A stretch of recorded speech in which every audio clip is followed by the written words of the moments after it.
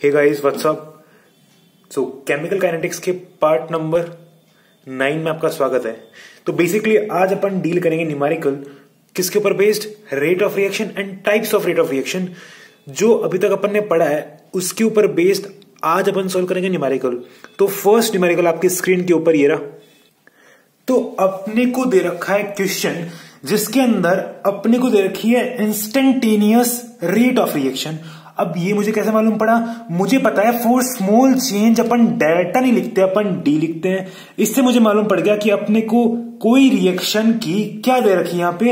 Instantaneous rate of reaction अब ये बोल रहा है आपको what is correct about this इस रेट ऑफ़ रिएक्शन के बारे में कौन कौन सी स्टेटमेंट्स करेक्ट है और कौन कौन सी स्टेटमेंट्स इनकरेक्ट है? अभी देखते हैं अपन। तो फ़र्स्ट स्टेटमेंट बोल रहे हैं अपने को reaction is two C plus four B gives three D plus five है अभी चेक करते हैं अपन। तो अपने को पता है कि यहाँ पे जो अपने को दे रखी है इंस्टेंटेनियस रेट ऑफ़ रिएक्शन उसके लिए अगर मैं लिखता हूँ रिएक्शन तो पहले अपने को ये प्रिडिक्ट करना पड़ेगा कि इस पूरी इंस्टेंटेनियस रेट ऑफ़ रिएक्शन के अंदर कौन रिएक्टेंट है और कौन प्रोडक्ट है? तो अपने को पता है कि जिसके अंदर क्या लगता है? माइनस साइन वो क्या होता है रिएक्टेंट क्योंकि टाइम के साथ साथ रिएक्टेंट की कंसेंट्रेशन कम हो रही है। इसी कारण उस नेगेटिव साइन को हटाने के लिए अपन ने एक और नेगेटिव साइन लगाया आगे। जिससे क्या हो जाए रेट पॉजिटिव हो जाए। ये अपन पहले पढ़ चुके हैं तो इसी कारण आपको क्या करना है, आपको हर एक वीडियो साइमल्टेनियसली देखनी है, जिससे कि आपको हर वीडियो के अंदर जो कंसेप्ट बताए गए हैं, वो सारे क्लियर हो जाए। अपन बात करते हैं, जिसके अंदर प्लस आया that is for product minus for reactant and this is for product simple तो इससे मैं ये क्या बोल सकता हूँ यहाँ पे, कि अपने को ये पता है कि यहाँ पे ये रिएक्टेंट है मतलब सी रिएक्टेंट है, और डी रिएक्टेंट है, और प्रोडक्ट कौन कौन है? B and A. और ये जो नीचे दे रखे हैं, ये क्या हो गए? Stoichiometric coefficient of reactant and product. Simple. अब अब बात करते हैं, इस पूरी इंस्टेंटेनियस रेट ऑफ़ रिएक्शन के लिए अपने पास मेन रिएक्शन क्या होगी? लेट अस सी तो रिएक्टेंट कौन है? सी और डी और रिएक्टेंट सी का स्टोक्योमेट्रिक कोफिशिएंट क्या है? टू इसी कारण यहाँ पे क्या लिख सकते हैं अपन? टू सी प्लस रिएक्टेंट दूसरा कौन सा है? डी जिसका स्टोक्योमेट्रिक कोफिशिएंट क्या है? Three that is three D gives us product product B का स्टोक्योमेट्रिक कोफिशिएंट क्या है? फोर इसी कारण फोर बी प्लस रिएक्टेंट नहीं प्रोडक्ट जो अपने पास है ए उसका स्टोक्योमेट्रिक कोफिशिएंट क्या है? फाइव तो यहाँ पे क्या हो गया? फाइव ए तो रिएक्शन होगी अपने पास क्या? Two C plus three D gives four B plus five A जिसके अंदर अपने पास सी और डी क्या है? रिएक्टेंट एंड बी और ए क्या है? प्रोडक्ट और जो नीचे दे रखा अपने को, ये क्या है stoichiometric coefficient of reactant and product respectively अपन बात करते हैं, क्या यही है ये रेट ऑफ़ रिएक्शन नहीं, क्या यही है ये रिएक्शन देखते हैं अभी अपन। Two C two C good four B no it is three D that's why ये जो स्टेटमेंट दे रखी है अपने को, ये क्या है? रॉन्ग है। अब चेक करते हैं नेक्स्ट स्टेटमेंट नेक्स्ट स्टेटमेंट क्या बोलती है अपने को? Reaction is two C plus three D two C plus three D gives four B plus five A yes this is correct statement अपन हम बात करते हैं स्टेटमेंट नंबर थ्री की। तो थर्ड स्टेटमेंट क्या अपने पास? तो स्टेटमेंट क्या अपनी? Rate of reaction that is R O R is one by fourth of rate of disappearance मतलब R O D of B अच्छा। तो आपको एक बात ध्यान रखनी है कि एक रिएक्शन के अंदर, एक रिएक्शन के अंदर डिसअपियर क्या होता है? रिएक्टेंट और अपियर क्या होता है? प्रोडक्ट बट ये बोल क्या रहा है? Rate of disappearance of A rate of disappearance of A what भाई आपको ये देखना है कि रेट ऑफ़ डिसअपियरेंस किसके लिए होता है? रिएक्टेंट के लिए। बट ये बोल क्या रहा है? प्रोडक्ट के लिए बोला रेट ऑफ़ डिसअपियरेंस इसी कारण ये स्टेटमेंट क्या होगी? रोंग हो गई। इसके अंदर आरओडी इसने यहाँ पे गलत लिख दिया। अगर आरओ ये लिखा होता है इसने तो अपन आगे चेक करते बट इसने यहाँ पे आरओडी यूज़ कर लिया। इसी कारण ये स्टेटमेंट पहले गलत होगी। क्योंकि मुझे पता है कि एक रिएक्शन के अंदर डिसअपियर क्या होता है? रिएक्टेंट और एक रिएक्शन के अंदर अपियर क्या होता है? प्रोडक्ट तो अगर यहाँ पे इसने लिखा होता R O A of B मतलब rate of appearance of B तो अपन आगे चेक करते बट यहाँ पे इसने यही गलत कर दिया। इसी कारण ये स्टेटमेंट क्या होगी? रॉन्ग क्या ये समझ में आया आपको? अगली स्टेटमेंट अपने पास rate of reaction is one by three of rate of disappearance of D पहले ये चेक करते हैं कि यह, यहाँ पे rate of disappearance of D सही यूज़ कर रहा है? हाँ क्योंकि यहाँ पे रेट ऑफ़ डिसअपियरेंस किसके लिए यूज़ होता है? रिएक्टेंट के लिए। इसी कारण इसने ये जो स्टेटमेंट लिखा है आरओडी ऑफ़ डी इसने यहाँ पे सही यूज़ करा है। अब चेक करते हैं आगे। ये क्या बोल रहा है? Rate of reaction is one by three rate of reaction is one by three किसके लिए? Of rate of disappearance of D तो मैं क्या बोल सकता हूँ आगे? कि यहाँ पे rate of reaction is equals to क्या है? अपन इसको अलग लिख लिया। Minus one by three D concentration of D upon D T तो मैं क्या बोल सकता हूँ यहाँ पे? कि अपने पास जो रेट ऑफ़ रिएक्शन है, ये क्या है? One by three of rate of disappearance of D तो ये बिल्कुल सही स्टेटमेंट है। आप देख के बता सकते हो इसको। क्योंकि अपन को पता है कि minus D concentration of capital D upon D T ये क्या होता है?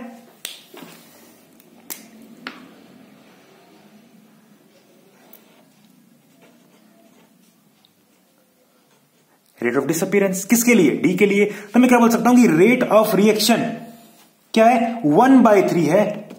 किसके लिए? Of rate of disappearance of D तो ये स्टेटमेंट क्या है? बिल्कुल सही है। आप यहीं से देख के बता सकते हैं इसको। अगर आपको और समझना है इलेबरेट करके तो आप इसको अलग भी लिख सकते हो। पर आपको यहीं से समझ में आ गया हो। क्या समझ में आया? कि रेट ऑफ़ रिएक्शन क्या है? वन बाय थ्री है। किसके? Rate of disappearance of D के तो rate of reaction one by three है। Rate of disappearance of D के एकदम सही स्टेटमेंट है। तो अपन ने इसको टिक कर दिया। Now coming to the next statement तो अगली स्टेटमेंट अपने पास।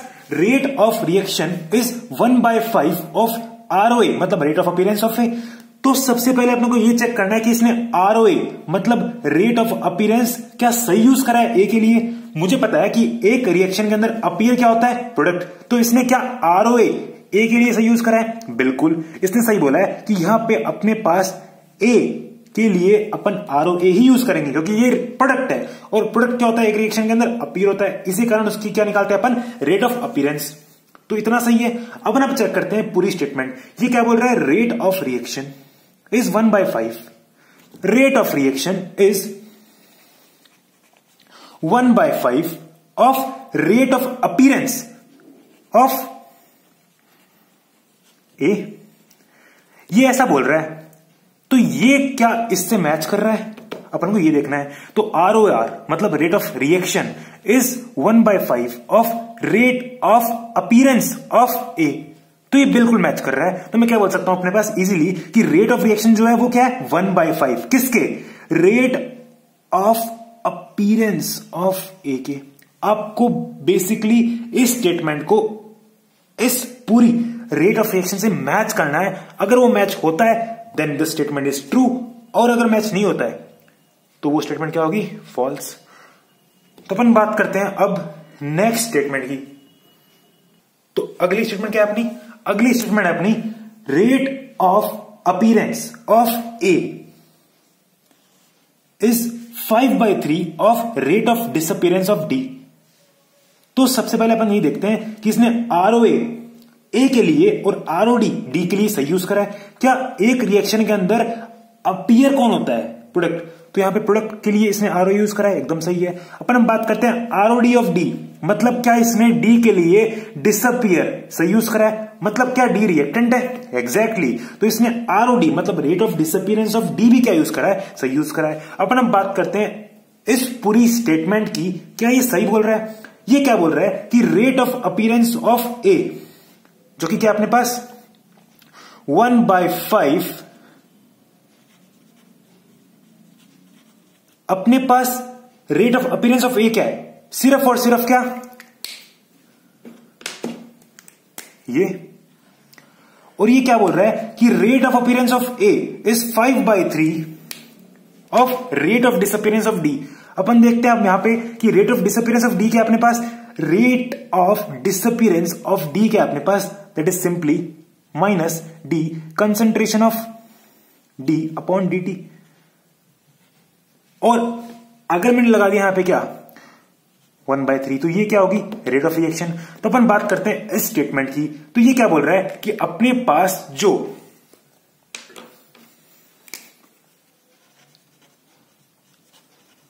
rate of appearance of A है, क्या वो five by three of rate of disappearance of D के इक्वल है? एग्जैक्टली exactly, ये इक्वल है। क्योंकि जब मैं इस फाइव को लेकर यहाँ पे तो ये क्या बन गया? फाइव बाई थ्री और मुझे पता है कि ये इतना क्या है अपने पास? ये इतना सिर्फ़ और सिर्फ़ क्या है? Rate of disappearance of D है। और ये इतना क्या है? ये क्या है? Rate of appearance of A है तो अगर मैंने इस रेट ऑफ़ रिएक्शन को यहाँ पे लिख के इनको साइमल्टेनियसली अरेंज करा न्यूमेरिकल वैल्यू को तो यहाँ पे अपने पास क्या निकल के आ गया कि rate of appearance of A ये क्या है?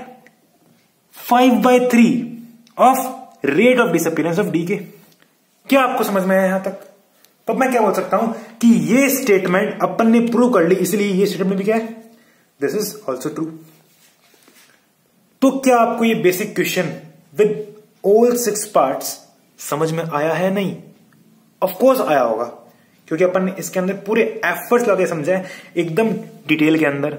अपन हम बात करते हैं नेक्स्ट क्वेश्चन की, जो कि आपकी स्क्रीन के ऊपर, ये रहा।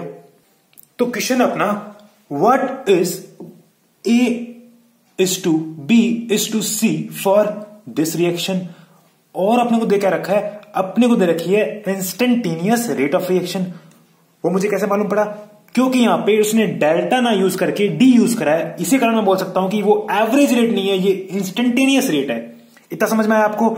तो यहाँ पे क्या बोल सकता हूँ मैं? ये आपको जो दे रखी है रेट ऑफ़ रिएक्शन ये क्या है? इंस्टेंटेनियस रेट ऑफ़ रिएक्शन अपन अब बात करते हैं आगे। ये क्या बोल रहा है अपने को? ये बोल रहा है कि आपको सिंपली स्टोक्योमेट्रिक कॉफिशियंट का रेशियो निकालना है। मतलब आपको निकालना क्या है? आपको निकालना है A is to B is to C क्या होगा? और मुझे पता है कि ये मैं किससे निकाल सकता हूँ? सिंपली इस रेट ऑफ़ रिएक्शन से। चलो देखते हैं, अपन कैसे निकालेंगे अपन इसको। तो सबसे पहले अपन ये देखते हैं कि अपने पास स्मॉल ए स्मॉल बी और स्मॉल सी क्या होगा इस रेट ऑफ़ रिएक्शन से। तो मुझे पता है कि यहाँ पे कुछ यूज़ नहीं कर रखा इसने। तो यहाँ पे क्या होगा? वन अपॉन वन तो अपने पास स्मॉल ए की वैल्यू क्या आ गई? वन अपन अब बात करते हैं आगे कि अपने पास बी कितना होगा? अपने को नहीं पता। सी कितना होगा? अपने को नहीं पता। मतलब स्मॉल सी और स्मॉल बी कितना होगा? अपने को नहीं पता। अपन हम बात करते हैं इसको कैसे डील करें अपन। इसके लिए सबसे पहले अपने को क्या करना पड़ेगा? इस रिएक्शन की फिर से क्या लिखनी पड़ेगी अपने को। रेट ऑफ़ रिएक्शन कौन सी? इंस्टेंटेनियस तो चलो लिखते हैं। अब मुझे पता है कि minus for reactant one upon A D concentration of A upon D T is equals to one upon B किसके अंदर? माइनस के अंदर। D concentration of B upon D T minus क्यों लगाया अपन ने? अच्छा अब हम बात करते हैं किसके लिए? फॉर सी सी के लिए क्या हो गया? वन अपॉन सी प्लस के अंदर D concentration of capital C upon D T तो अपने पास यहाँ पे ये क्या लिख दिया अपन ने? इंस्टेंटेनियस रेट ऑफ़ रिएक्शन इतना समझ में आया आपको? मैंने करा क्या? बेसिकली मैंने इस रिएक्शन का क्या लिख दिया? इंस्टेंटेनियस रेट ऑफ़ रिएक्शन लिख दिया, जो कि एकदम इजीली आप लिख सकते हो। अपन हम बात करते हैं आगे कि इस इंस्टेंटेनियस रेट ऑफ़ रिएक्शन से आप कैसे प्रिडिक्ट कर सकते हैं स्टोकेमेट्रिक ऑफिशियंट को? तो मुझे पता है यहाँ पे क्या? कि अपने पास स्मॉल ए की वैल्यू कितनी आ गई? वन ये समझ में आया?